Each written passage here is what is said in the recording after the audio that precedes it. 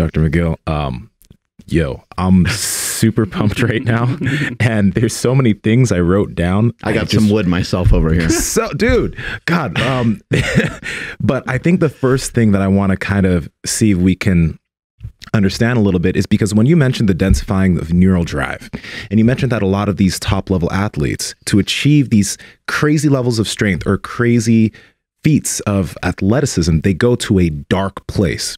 I know a lot of powerlifters or a lot of people were thinking, oh, okay, so just get really angry, think of some trauma, or so, just like think of something really dark to help me get this lift. Um, but I, I want to know from you from what you've seen, how can you see this applied? Because when I personally think of that dark place, I, I when I did powerlifting or when I was focused on that, I tried the whole getting pumped and angry thing or whatever, didn't work for me. The best thing that worked for me personally in terms of that dark place was going to a place of no emotion at all. And when I was able to like just everything was empty, I was able to just boom, like things worked well. And I find that with martial arts too. If I don't think and if I just like zone in and I'm I'm emotionless, and I think I'm I'm thinking of the emotionless thing because you mentioned you could kill a person. Now I'm not saying I would kill a person, but when I do that, it's like I get what you're saying. So I want to know for for lifters who want to tap into this or get to a point where they can maybe try to tap into that, what does that even look like? I should run upstairs and get my wife, who's a sports psychologist. So you ah. use the magic word, getting in the zone. And for someone to get in the zone, they need such a command of what it is they need to do. If a game player has to watch the game evolve, uh, that's partly inherent, of course, but it's mm-hmm. also the practice and the years that they've put into this.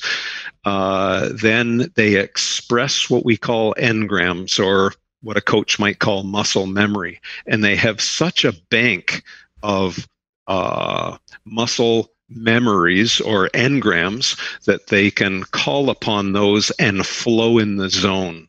And, uh, you know, I just know myself. Someone asked me the other day, um, something about quality of lecturing and i said well you know I, I think i've maybe done one good lecture in my life where i was in the zone absolutely completely i was lost it flowed. And then when i went back to think about it i couldn't. It wasn't anywhere in there but then i someone had made a video of it and i said damn that's a good lecture. But it, i was totally in the zone. And as you know you you get in there. Uh, now, how do you get there is what uh, eludes a lot of people. And again, I can just offer some examples. You know, there are the headbangers and the guys who get slapped and sniff uh, ammonias and all this kind of stuff before they go onto a powerlifting platform. But then you, you go back to a guy like Kaz.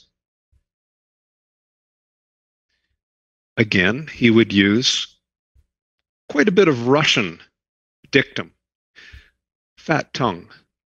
Lean back. You'll see this with the Eastern Europeans when they approach the platform, and well, many Americans too. They lean back and they let the tongue fall to the back of the throat. So, uh, and Nsima, your description of emotionless relaxation is very much a Russian take, technique. That's the beginning of it, the fat tongue. Relax, let your arms waver and then start to organize the engrams in your brain of what you're going to have to execute. And then Kaz would then go into you could see it. He would get goosebumps. The sweat would start to come off his brow. He wasn't using foul language or swearing or banging his head against a wall. That was someone else's gig. But it was the way he got to that dark place to create the densification. So different strokes for different folks. It mm-hmm. sounds to me as though you're more in the the Kaz camp. And when it comes to strength, I know there's some commonalities. You mentioned it very briefly about grip. Um, what what is it about grip, and what is it about? I, I correct me if I'm wrong. I think a lot of the neural drive can also come from like neck strength as well. Uh, if there is a connection, what what is the connection between the grip? Like, why do you think the grip and the neck strength? Like, if you're just to test someone who's you know, if, if you have a group of 50 people and you test people out, someone's got a stronger grip and a stronger neck, they most likely are going to be the strongest person in the group when you have them demonstrate a bunch of different uh, types of, of, of lifts and things like that, depending on whether they've done them before or not, obviously. But what is the connection between the grip and the neck? Uh, I don't know how eloquent I can be about it, except to describe the techniques to make it work. Because I've measured the techniques, I haven't done the full investigations as to what the mechanisms mm. are. So I think uh, there's a lot of neurology that I can't explain, except you inhibit the inhibitors. And getting your body tight. So think of the number of sports where you'll hear the coach. It could be gymnastics. It could be the last uh, quarter mile of a marathon. Even don't break form. Stay tight. You know these kind uh, mental images to keep stability and control where the body needs it so you don't so you keep inhibiting the inhibitors and uh, grip strength is a huge one. So if you just take a take your arm at its side, uh, Nsima and and Mark, you put your hand over the deltoid of Nsima's right shoulder. Let's do it. Now, Nsima, yes. Now, just feel what goes on in the shoulder. And Nsima don't activate your shoulder. Okay. What I simply want you to do is in your hand, start to squeeze and keep squeezing. Now, go to the dark place and squeeze your hand now because you're going to commit murder. What just went on in the shoulder, Mark? Yeah, I felt the entire shoulder all the way from the front, the side, all the way to the back. Uh, right. So, so this is the principle of irradiation. So the hand grip. You know i see these athletes coming in and they're all pumped up on you know what and then they have these little kitten computer hands and someone forgot to train their hands. And i said give me a break son. You better start climbing a rope. Put a towel over that bar and start to get rid of all the handles and start gripping some fat things. And pull ropes and towels and all the rest of it and get a pair of mitts. So anyway uh, that that irradiation through the body not only comes distally to proximal, but it also comes proximal to distal.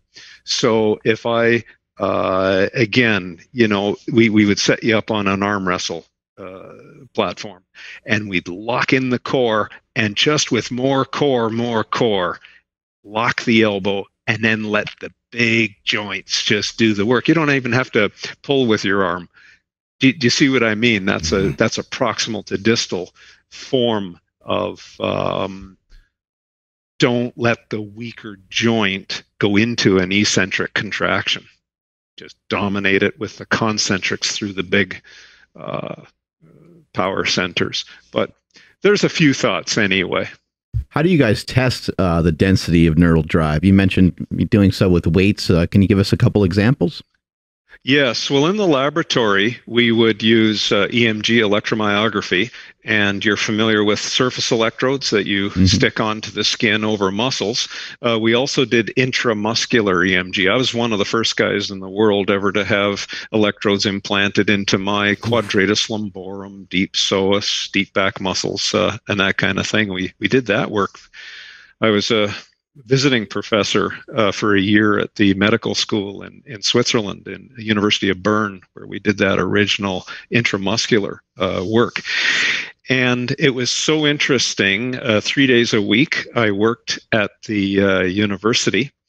Uh, and two days a week, I worked at the Swiss uh, Olympic Training Center, their national training center. So I had access to all the Swiss Olympians uh, etc. As great an athlete as they were, I would have all of them deadlift. I would be monitoring the back muscle activation. So, you know, someone will say, Oh, well, I'm, I want to get strong. I'm going to do a deadlift. And I said, Okay, well, what kind of strength are you looking for? Oh, I want back strength. And I, I usually at that point don't say too much unless they pull it out of me. But you can only activate your erector spinae to about 65, maybe 70% of neural drive. And you can be the world champ. And if you're doing it form, you're somewhere in that uh, region. You have to do other things to get 100% neural drive.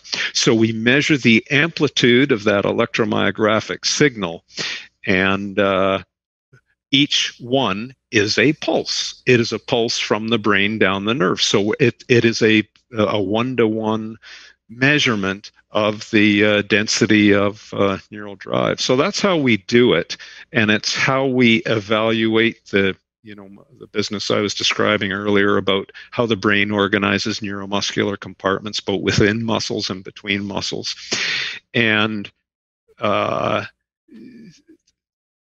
you know I'm I'm working on a project right now and and basically it's weight room barbell strength versus farm boy strength so mm-hmm. carry a couple of uh, hay bales that are wet you know 100 pounds a piece uh, versus a couple of kettlebells which have a very centralized mass uh, versus something that needs control because it's bouncing around a little bit or you know when we start using earthquake bars uh, chains uh, bands, you know, all the great things that I see going on at uh, your operation. So those kinds of things um, we measure through electromyography on their ability to transition into what we would call a farm boy strength. So there's no weaknesses. Pure barbell training can create and hide some weaknesses uh,